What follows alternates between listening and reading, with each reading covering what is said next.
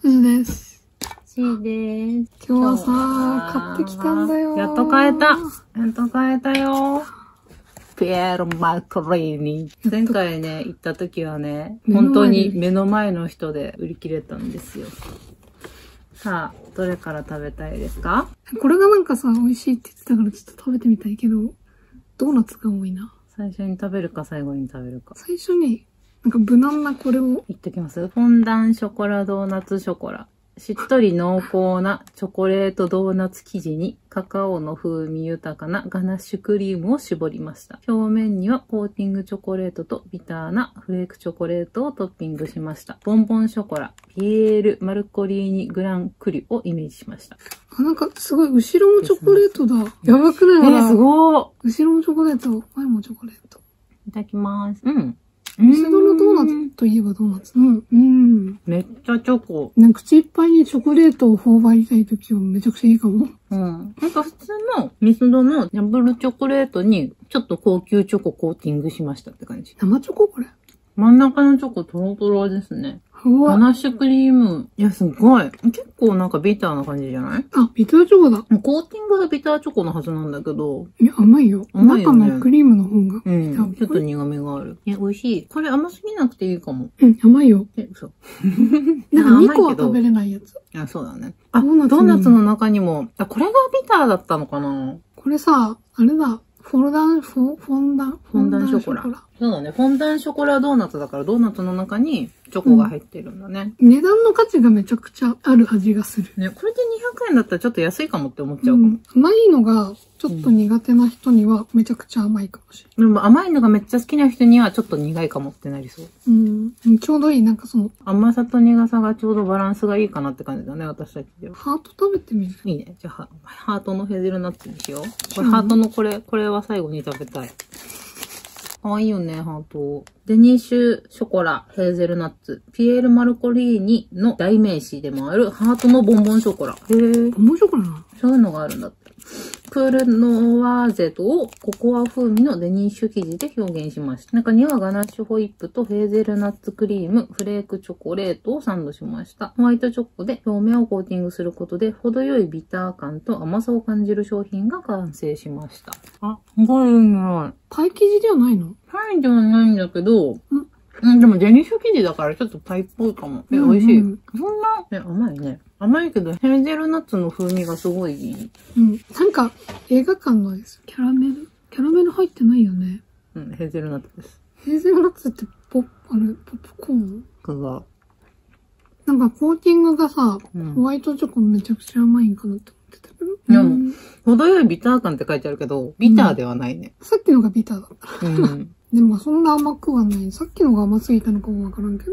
さっきの甘いのと、チョコ感がめっちゃすごかったから、うんチョコ食べてる感すごかったんだけど、こっち結構パン、パンっていうかデニッシュだね。うん。サクサクドーナツって感じなのか。うん。パイではないし、しっとりめだった。ああ、どれがいい。どっちがいい？どっちがいい？気になるね。そうだね。これでこうやえっとですね、フォンダンショコラドーナツキャラメル。なんで、これも多分、ドーナツの中にチョコレートが入ってる感じだね。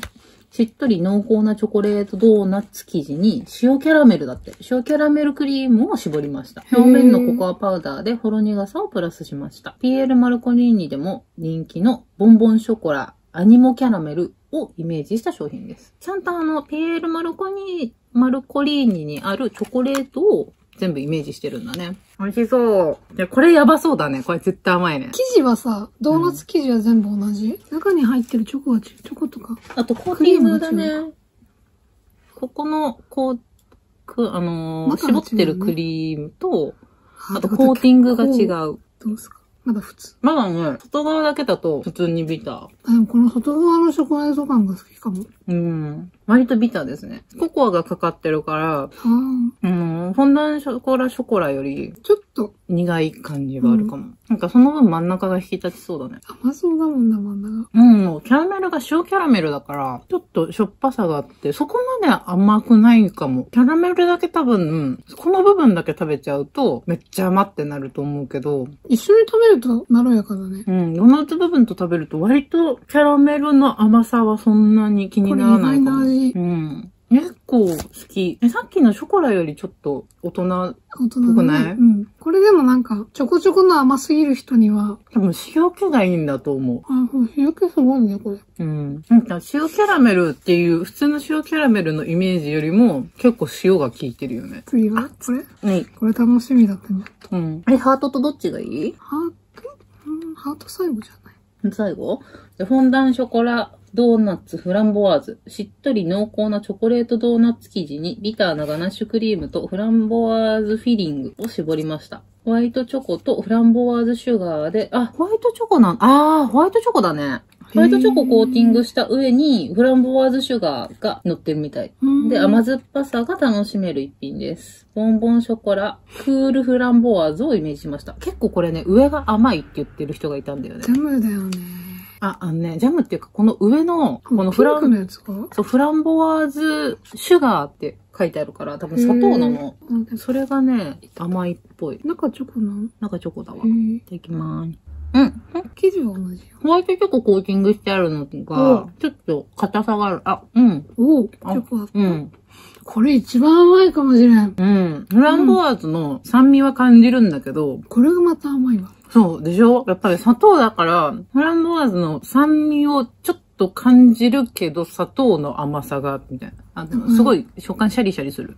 この香料っていうかさ、うん。フランボワーズの匂いなんだと思うけど、うんこれがまたなんかこう、なんていうの？甘みたいな。甘ってなる。うん。結構甘い香料な感じ。香料なのかな？うーん。めっちゃ甘そう。うん。でもね、ジャムすごい結構酸味ある。美味しい。あ、あ、うまい。確かにドーナツとしては結構甘々だね。うん。このクールフランボワーズっていうチョコを食べたいみたいに。食べたくなる。ここめちゃくちゃうまいもん。うん。フランボワーズのフィリングがめっちゃうまいです。酸味がとても良きです。こっちの方がまだ甘いもん。うん、甘い。チョコ食べたい、これ。ピー、なんだっけ？ペールマルコリーニ。えめっちゃ美味しいっていうか、香りがすごいいいね。フランボワーズの香りがとても良いですよ。じゃあ次が、フォンダンショコラドーナツヘーゼルナッツ。しっとり濃厚なチョコレートドーナツ生地にガナッシュホイップとヘーゼルナッツクリームを絞りました。何気にこれの方が。ホワイトチョコをコーティングし、キラキラトッピング、キラキラしてま、あ、してるね。すごいかわいい。ボンボンショコラ、クールノワゼットをイメージした商品です。ほほヘーゼルナッツってめちゃくちゃ甘いな。ー。甘そうだな ヘーゼルナッツって美味しいよね。学科が。うん。なんかすごい。すごいね。めっちゃ絞られてる。これ中心食べる前はさ、なうん中心食べるまでは基本同じなのでも、ホワイトチョコがある分、若干他より甘いかも。なんかフランボワーズも、あの、ホワイトチョコついてたけど、これ一人全種類きついな。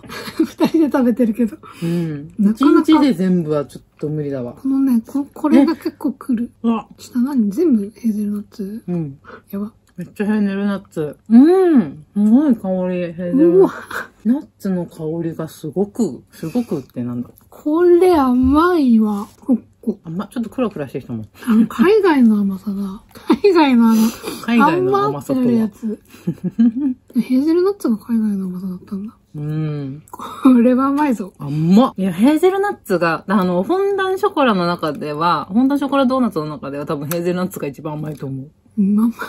ホワイトチョコがね、やっぱ甘いんですよ。ホイップがすごいふわふわしててう。ん。若干塩気ない？うん。あるよね。これあの、塩キャラメルほどじゃないんだけど、うん。でも、塩キャラメルに似た感じのがうんあるやん。甘いな、これ。甘いっすわ。分かれそう。こっちの甘いが好きな人と、チョコチョコが甘いの好きな人とでめっちゃ分かれそう。デニッシュショコラフランボワーズ、ピエールマルコリーニ代名詞でもある、ハートのボンボンショコラ、クールフランボワーズをココア風味のデニッシュ生地で表現しました。中にはガナッシュホイップとフランボワーズフィリングをサンドし、フランボワーズシュガーをトッピングすることで見た目の可愛らしさと甘酸っぱさを引き立てます。ってことで、さっきのとほぼほぼコーティングだったり、中身が一緒だね。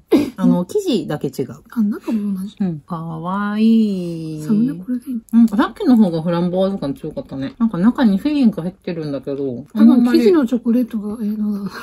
相変わらずあの、シャリシャリ感はすごいある。これ味の違いがあんまり分からんかもしれない。まあ、さっきよりも、ホワイトチョコの風味が強い気がする。白い方が好きかもしれん。そうね、これは多分丸い方が多い、あの、フランボワーズ感が強くて。うん。フランボワーズ食べたいって言うんだったら、うん。丸い方がいいね。また見た目的にこれ買うよね。買う。ピンクのハート。なんかこの間もあれだもんね。丸い方のうん。フランボワーズだけうん最後残ってたんだよ。でもうちも味食べてなかったらこれ買わないかもしれない。チョコ食べたいってなってるから、買いに行った時は。私見た目で選んじゃう、多分。うん。うん。お疲れ様でした。どれが一番好き？えー、悩ましい。意外と塩キャラメル好きだった。おお 意外なところ。わかる。これかこれかなって感じ。